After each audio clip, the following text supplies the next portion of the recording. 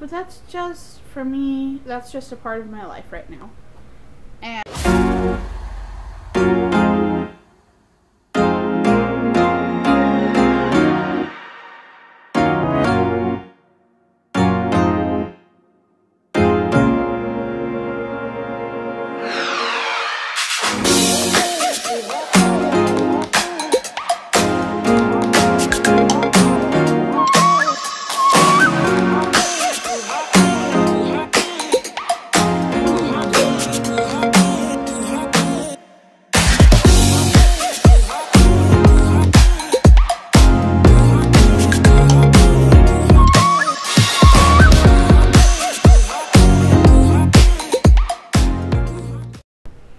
Hey guys, Laigha here. So I'm really sorry that I missed the upload this last week. Um, I was in Sioux City.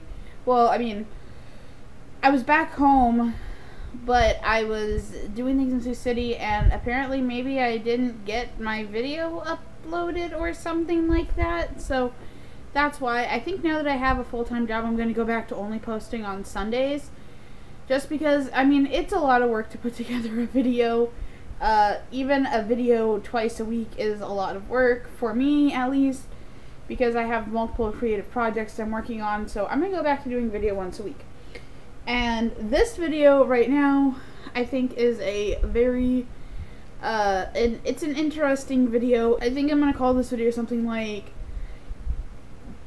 having food condition having digestive health issues and being vegan uh, so if you don't know, hi, my name is Laigha. I have about half a dozen conditions that impact my digestion. Um, I'm low fat, high protein, uh, moderate carb. I want to say definitely not low carb, nothing near low carb, but definitely moderate carb, high protein. And that's because I have multiple digestive conditions. I don't have a gallbladder anymore. I have diabetes. I have gastroesophageal reflux disease, which is a very severe form of acid reflux. I actually have scarring in my digestive tract from acid reflux. I have inflammation in my stomach and my small intestine. And as of right now, there could be something else going on. We don't know. We're still running tests. I potentially have gastroparesis. There's just a lot. And because of that, I'm on a highly restricted diet. Um, I drink multiple Ensures a day. Normally, I drink one for breakfast and one for my afternoon snack. I have I have to eat five times a day. I'm really careful about what I eat. Nothing with a lot of fiber. Nothing with a lot of soluble fiber. Uh, and overall, I also don't eat a lot of fatty animal products. So I don't eat a lot of beef. I don't eat a lot of cheese. Um, when I do eat dairy, it's either these things, which are lactose free, or it's yogurt that is fat free. So it's a pretty restrictive diet. And for me, you know, I had an eating disorder that I'm currently in remission for from. Uh, I have BED, which actually whether or not I actually have BED or whether it's part of my bipolar disorder is up in the air. Technically, I don't meet the criteria for BED. I never have, so it's actually a part of my bipolar disorder that I binge eat. But whenever I'm doing well, whenever I'm not binging, whenever I'm functioning, um, I have a really restrictive diet. And I want to talk about today why I'm not fully vegan anymore. And it's really simple. It's kind of sad for me. It's difficult to talk about, but it's because that food makes me sick. Before I start, I want to say this is nothing against veganism. Um, emotionally, I'm sad that I can't be vegan, and veganism I think is a great lifestyle, a good way to eat. It's uh, good for the planet, good for the animals, good for you. I'm not gonna sit here and pretend like it's the healthiest diet in the world. I think that any balanced diet is a healthy diet, and a mostly plant-based diet with some animal products, which is kind of what I eat now, is probably the most healthy for you. The problem with eating vegan for me is just that my stomach can't handle fiber. Um, I had very severe digest different digestive issues. So, not nausea, not bloating, but other digestive issues when I was vegan, and those digestive issues are indicative of having a stomach that can't process fiber well. I was constipated all the time. This is very much not the norm for people who eat fiber. Um, usually it's the other way. For me, I was getting almost exactly my 25 grams a day, which is the amount that you should have, and I was so sick that I had to go on prescription medication for it. It's kind of a sign. So, I would eat things like oatmeal, which honestly is my great love, and I, I, I miss oatmeal a lot. I miss my half a cup of oatmeal cooked in a cup of water and five strawberries with bananas, cinnamon, and sugar. I miss that. I miss my like smorgasbord two year old component lunch that had like bell peppers and crackers and hummus and almonds and pineapple. And I think there was one more thing. I think there was another. Oh, I know. There was a uh, vegan cereal. Like I miss that. I miss my tofu and I miss my tofu chickpea pasta that was like little cut up chunks of tofu as small as I can make them and cooked as well as I was actually willing to cook it because I never really had the patience to be able to brown tofu. Because if you don't know, to- cooking tofu is a bit like cooking chicken, at least the way that you cook it. You cut it up into little bits and then you're kind of browning the individual bits. But you know, having my tofu with chickpea pasta and this homemade uh, pasta sauce that I made that was just crushed tomatoes and vegetable broth. Oh, just thinking about now makes me makes me hungry for it. But the problem is I can't I can't have that. I can't have any of this food. You know, the chickpea pasta is probably too high in fiber for me. The hummus is too high in fiber, although I'm gonna try including it in my diet again I can't have lots of soy because it messes with my thyroid. I can't have oatmeal because too much, too much, too, basically there's too much fiber in it. And also, oatmeal is the type of carb that is good for someone with diabetes actually because of the fiber and it's a slow digesting carb. But for me, because of the fiber, it doesn't do well.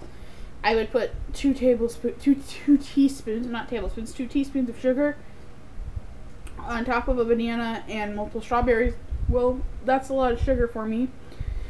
Although, to be fair, I actually had some of my lowest numbers when I was eating vegan. Um, the strawberries I can't have because of the seeds, which are hard to digest, and also because of the acidity. I can't have the tomato sauce because of the acidity. I can't have the bell peppers because of the acidity. I can't have the almonds because they're hard to digest you know, the cereal would be okay except for it's so high in it's so high in carbs. It's difficult. It's difficult. So if I can't have this food that I love, what do I do? Well, whenever I get go out, I do still sometimes get veggie burgers. Um, there are a number of different types of veggie burgers. My two favorites are the Impossible Whopper, which is a mock meat grown in a lab uh, when I say mock meat, that means that it is like intended to replace meat. It's not a veggie. Like it is a veggie burger, but it is intended to like be more of a one for one replacement. Not exactly sure how they make it. I know that it has heme iron and that it's really neat, and that it actually, in my opinion, tastes better than a Whopper. And then I also love the Culver's veggie burger that's made with chickpeas, which are my one true love.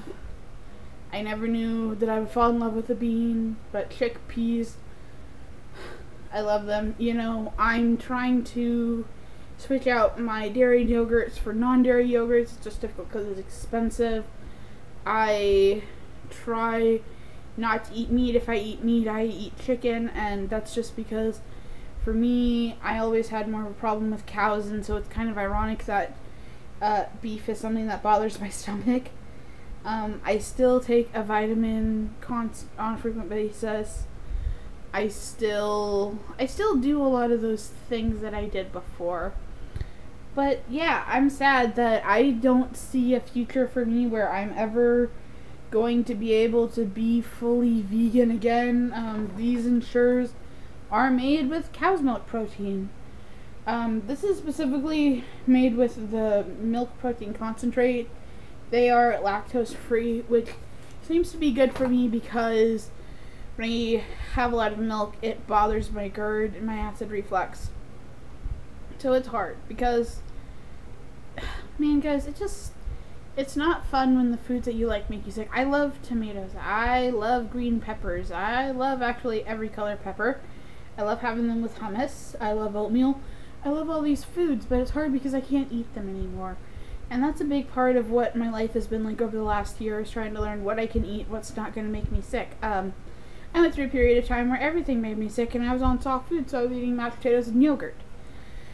Thankfully, I can eat more than mashed potatoes and yogurt, and I'm adding more foods into my diet. But also, I'm pretty sure that most people's grocery list doesn't include uh, 12 bottles of Ensure a week, like mine does.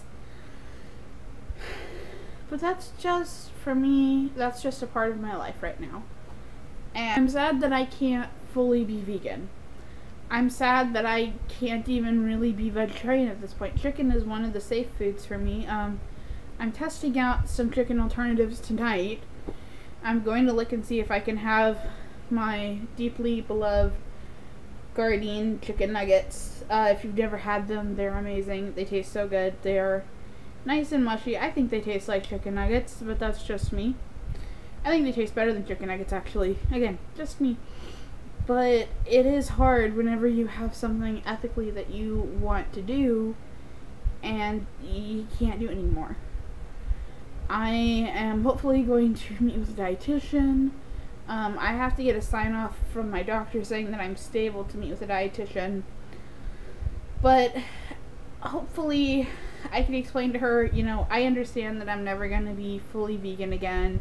I understand that it's like unlikely that I'm ever going to be fully vegetarian again.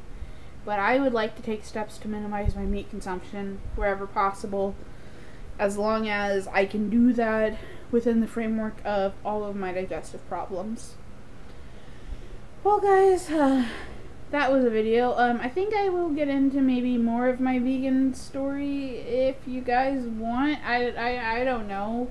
I don't think of myself as a vegan influencer. I'm certainly because I'm not vegan anymore. I never really wanted to be a vegan influencer.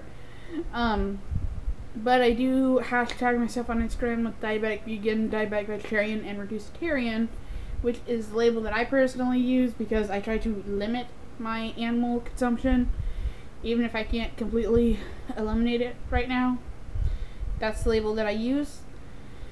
Um, but yeah, that's just a little bit about it, and I'll talk more about it in a future video, like I said, but this video's been all over the place, and I hope you guys enjoyed it. Bye, guys.